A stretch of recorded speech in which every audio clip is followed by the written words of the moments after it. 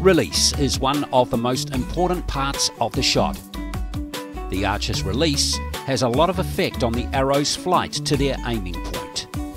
Release is the action of relaxing the tension in the fingers and allowing the string to slip past the fingers on the draw hand. During release, the archer should relax their draw fingers without opening their hand, while maintaining visual focus on the target. The archer should also move their hand from the anchor position towards the ear about 3 to 10 centimetres along the chin line, under the chin. When using a clicker, the archer must maintain the force, using both shoulder blades during full draw.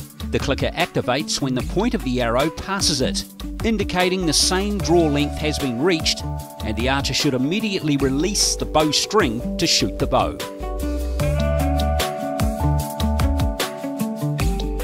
A variation in release can significantly affect the shot.